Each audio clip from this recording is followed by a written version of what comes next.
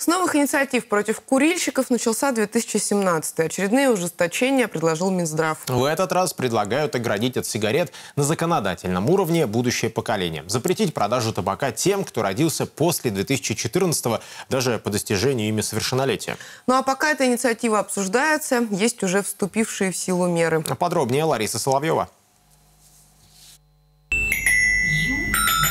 Диме всего 9 месяцев, он родился в спортивной семье. Папа фитнес-инструктор, мама тоже за здоровое питание и образ жизни. Но их малыш обречен не курить не поэтому. В России предлагают запретить в принципе продавать сигареты всем, кто родился после 2014 -го.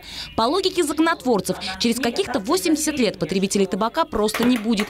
Дима как раз попадает в поколение, защищенное от дыма, но мама скорее против, чем за. Мне очень страшно, что придумает наш изобретательный русский народ, чтобы обойти закон и где там в подворотне что предложит моему ребенку, вот оперируя тем, что э, ты же никогда не сможешь это попробовать, тебе же нельзя на протяжении всей жизни. То есть меня это очень сильно пугает. Пока это только инициатива, но ведь еще недавно и запрет на курение в поездах и барах казался нереальной мерой, а вот уже несколько лет в общественных местах дымить нельзя. Антитабачная кампания в России стартовала в 2013 году, и если все начиналось запрет курения на территориях больниц, детских садов и школ, то сегодня такие таблички можно встретить повсюду и в парках, парках и на входах в торговые центры. Реклама табачных изделий запрещена, а сцены курения вырезают из фильмов и телепередач. Врачи отмечают, курильщиков действительно стало меньше. К нам приходит молодежь, студенты. И сейчас из 12-14 человек, ну, может быть, один возрастной студент курит. Раньше это было значительно больше. За три года в России удалось добиться снижения потребления табака на 6%. С 39 показатель опустился до 33%. Еще один один уже неизбежный шаг – рост акцизов в 2017-м.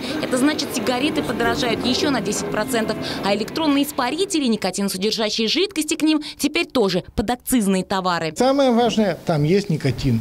Пусть он очищенный, как там только рекламодатели не дают эту вещь. Но самое главное, он там имеет место быть. Как ты губил свою центральную нервную систему, так ты и продолжаешь. Никотин, стимулятор психостимулятор. В проекте также запрет на курение электронок в общественных местах. Лариса Соловьева, Андрей Захаров, Тюменское время.